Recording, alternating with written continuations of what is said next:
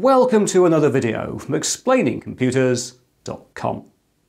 This time we're going to delve into retro computer storage by taking a look at this and this, the zip drive and jaz drive from Iomega. Now, in the second half of the 1990s, the zip drive in particular was a very popular form of removable storage. So let's go and take a closer look. Now, here we have a 3.5 inch floppy disk, which has got a 1.44 megabyte formatted capacity. And by the mid 1990s, this was by far the most common form of removable storage being used with personal computers. But the capacity was starting to become a constraint, and so many companies started to develop what became known as super floppies. Things like the SuperDisk LS120, the SyQuest EZ135, and what became the market leader, the zip drive. And the zip drive was introduced by Iomega in late 1994. And as you can see, they came in these rather nice uh, covers. You could have these in, in, your pocket and they'd be nicely protected in your pocket or bag or something. And if we open this thing up, here is a zip cartridge or a zip disk. And if we maybe put it down next to a floppy so we can compare the two, the floppy, as I said, had a capacity of 1.44 megabytes. The zip drive, when it came out, had a capacity of 100 megabytes. Now I say when it came out because by 1998 Iomega introduced a 250 megabyte zip drive and by 2002 a 750 megabyte zip drive. But to be honest, most zip drives ever sold were this 100 megabyte capacity. Now the technology here is pretty much the same. If we flip these things over, you'll see they're both on the back have a sort of spindle mechanism to engage their single internal flexible magnetic disk. Uh, the real difference in terms of form factor, as you might be able to see here, the floppy is a lot thinner than the, than the zip drive. Zip drives are sometimes called a beast floppy disk by some people I knew because they were much, much thicker than the, the, the floppy disk.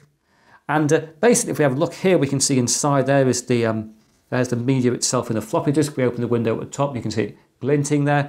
Whereas in the zip drive, it's accessed through the top. There's a little sliding thing here. You probably can't see in there, but inside that slot, there was access to the, the, the disk media. If you're thinking to yourself, how did they get such a higher capacity? How did this have 70 times more capacity than that based on the same technology?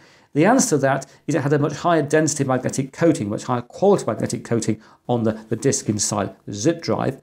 And that enabled it to have a much smaller drive head, to get more tracks on, on the, the disk itself, and also had a much better um, head positioning mechanism being used with the zip drive. They basically optimized everything with floppy to make the zip drive work. So the zip drive was a very successful product, it remained in the market very strongly throughout all the late 1990s until about 2002, 2003. And then by that time it had a lot of competition from things like writable CDs, writable DVDs, and from USB drives were coming in, and also we had people using this thing called the internet to actually exchange files. So eventually the zip drive did fall out of favour. But for sort of five, six, seven years, it was a very important part of computing, uh, history computing heritage. So that is clearly the cartridge itself. Let's now go and have a look at the drives, the hardware, which we actually write to and read from zip media.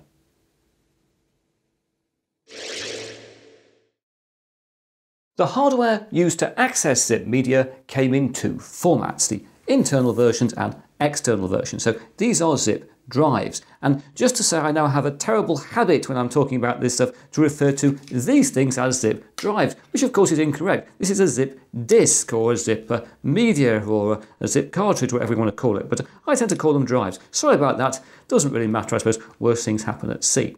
Anyway, let's turn our attention to what are really the zip drives, the pieces of hardware that uh, we put uh, these things into. And let's start with the external version. This is what I always in my head think of when I think about uh, the zip hardware. And uh, this is one of the very first zip drives to be imported into the UK, uh, one of the first batches which I got in very early 1995.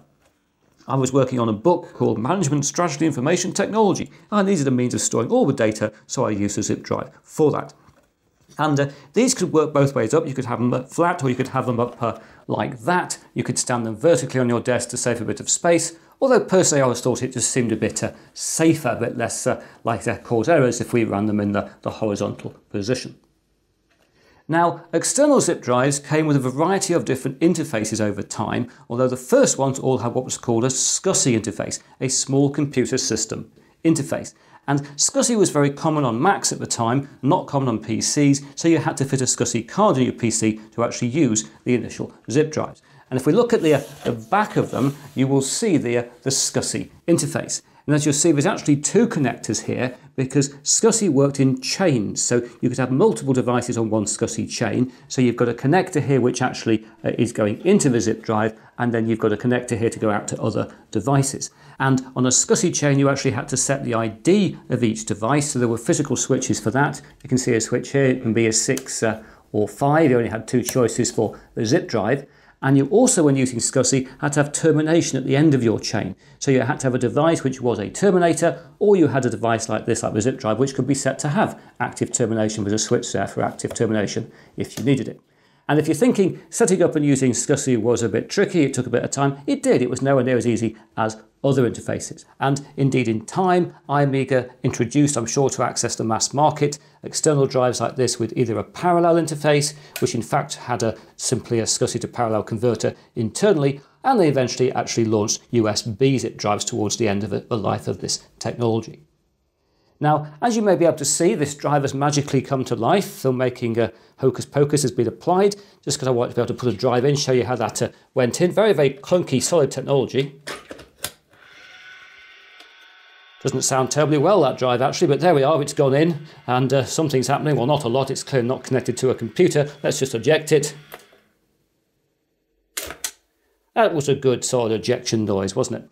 Anyway, this I'm afraid I can't connect to a computer because I don't have any computers around with a SCSI interface. So uh, let's turn our attention to the uh, internal zip drives like uh, this one we have here. Uh, this connected via an IDE interface, so the same interface that was used to connect uh, hard drives and CD-ROM drives and things at this point in the computing history. And uh, these were made, interestingly enough, not just by Iomega, but also other manufacturers made these. I remember having a Panasonic internal uh, zip drive at one point in time. And uh, I have great memories of this technology because I was responsible, for example, for fitting these in all of the computers in my university department back in the, sort of the late 90s. And I remember ringing up a supplier at one point in time and saying, Can I buy 150 zip drives? And he thought I meant these things, the cartridges. I went, no, no, I mean, the actual drives themselves. I think I then rang, rang up and ordered 500 cartridges, so he was a bit surprised. But uh, we used to give all of our students one of these at the start of the academic year to store all their work on rather than giving them a, a, a floppy disk. And it worked very well indeed. But uh, this was long before we had sort of network storage for students, things like that. Anyway, those are my memories of uh, this technology. But uh, the good thing is that I've actually got one of these in a PC which still works. So I think we can now actually test out for real an internal zip drive. So, here we have the only computer I've got left in one piece which has got an internal zip drive actually installed. So let's turn it on. This machine says on the front it's a 386 SX20. It isn't. It was actually built in 1998 in an older case. It's got an AMD K6-2 inside it, uh, which is running, I think, at 450 megahertz and has got, I think, 192 megabytes of RAM.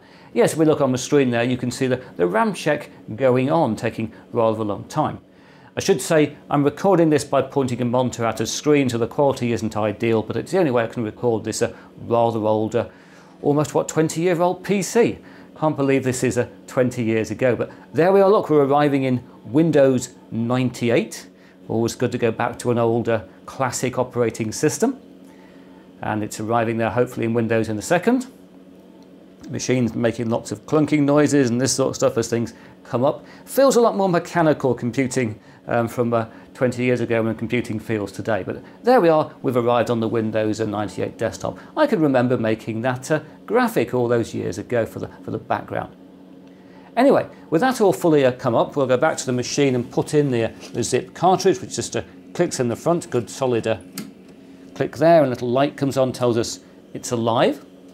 And if we go back to the, the desktop, obviously some activity there Windows is doing. Let's just go to a My Computer open that up and uh, look at the time it takes to find its drives and things. You can see computing was a bit slower. And if we go to the zip drive there and we go to uh, properties, we can hopefully come up and see uh, the disk there is, uh, there we are, definitely an Iomega disk. And we can look at the drive and uh, tells us the drive is. It has a, a nice bit of software to support the thing. Let's go to diagnostics, see if it actually still works properly. Just click a diagnose now. I spent a lot of time doing diagnostics on the zip drives in my day. Will we get a green light? Yes, we did. The drive is absolutely fine. And uh, we just open it up. I think it's one of my old teaching drives, so let's just uh, do that. Oh, there we are, look. Uh, CIB 2003. Let's open up a very old PowerPoint file. And uh, oh, it's having a go. And uh, wow, look how long it takes to load a PowerPoint file. This is um, computing from a very different age. I don't need to show you a speed test on this drive. This says everything, doesn't it? This is a hardware lecture from years and years and years ago. There must be some images in this to uh, have taken it so long to load. Look how, how, it, how it goes through. It's just not, not as nippy as a computing today. Oh, it was about, look, tablet PCs from, from a different age. Anyway, there we are. We've seen a machine running with a zip drive. Let's uh, eject the drive. We can get back to uh, my computer. And I think we can do an eject from uh, there. And uh, hopefully, big solid clunk as it comes out. There we are, removed. And uh, I'll just also show you turning the computer off because this was a little bit different today. If we do a shutdown and uh, shut down there, it doesn't turn itself off fully. You get to that point. It's now safe to turn your computer off. We turn it off ourselves. That's what computers used to do. Anyway, that is the end of our retro computing demo.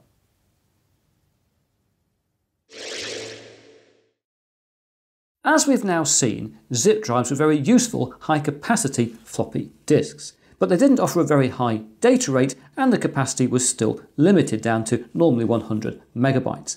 And therefore in 1995, Iomega followed up on the success of a zip drive by introducing the Jaz drive, which has a much greater capacity. So here's a Jaz drive in a, it's a slightly different type of box, a very, very protective box. If we open this thing up, there you are, nice noise there, we'll take out a Jaz cartridge. And if we put that down maybe next to the zip drive to compare the two of these, uh, the main difference here is initial zip cartridges were 100 megabytes, whereas Jaz was 1 gigabyte. Although by 1998, uh, Jaz cartridges also came in 2 gigabyte capacities. And uh, I have to say, Jaz was a much more uh, minority storage technology. I knew hundreds of people, probably thousands of people over the years, who used zip drives in their work and studies and things. I never met anybody else other than me in my circle of people I knew who actually used a Jaz drive. It was just me. I talk about Jaz drives to people and go, What are you talking about? Because we've never heard of those. Now, Jaz drives didn't just offer you greater capacity, they were much, much faster. And the reason really was the technology. The zip drive was basically based on a high capacity floppy disk. There's a flexible media inside here, but not with a Jaz drive. This effectively has got two hard drive platters, solid platters inside it. And it engages with a, drive mechanism in a much more robust way, as you can see compared to, say, the thing on, on, on a zip drive there. Very, very, very different. Spins at much higher speed. And uh, we actually go to the front of the thing, you'll see access is by this little sort of mesh, this, um, not mesh, piece of metal. And so if I try and pull that back, which of course you really, really, really shouldn't do, but if I do that, you will probably see glinting in there, there's the two platters. And the heads went in there and engaged with that and gave you that fantastic uh, high-speed access. I should probably just put that back again. Now, one of the reasons Jaz remained pretty minority was the cost of them, but also the interface. You could get both internal and external mechanisms, but they were all SCSI. There was never USB or parallel versions of the Jaz drive. And here I've got uh, the mechanism I had it in, in, my computer. I don't have any means to show you if it's working because I haven't got a SCSI interface on anything that's working these days. But uh, this is a Jaz drive. Less interesting on the top. Looks more exciting. Look at all the components, isn't it? Looks very, very exciting that way on. And if I show you down like uh, that, you can see on the front, that's where the uh, actual drive went in. And maybe put it in a little bit. Not going to put it in very much because if I do, I will never get the damn thing out again because uh, it'll click in and it, we haven't got power to get the thing out. That's where it went in. And uh, on the back, we of course have uh, the connector, which there is the SCSI connector. So there we have the, uh, the Jaz drive, which is, for me, a, a, piece of technology people forget. They don't seem to remember that Jaz drives were around. People always remember the zip drives. But for me, the Jaz drive was just as important a piece of storage technology.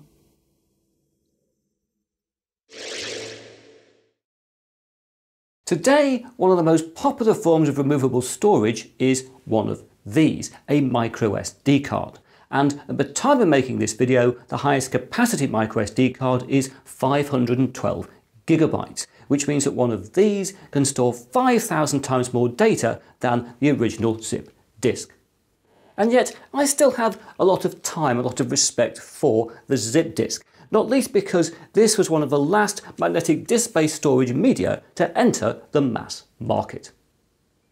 But now that's it for another video. If you've enjoyed what you see there, please press that like button. If you haven't subscribed, please subscribe, and I hope to talk to you again very soon.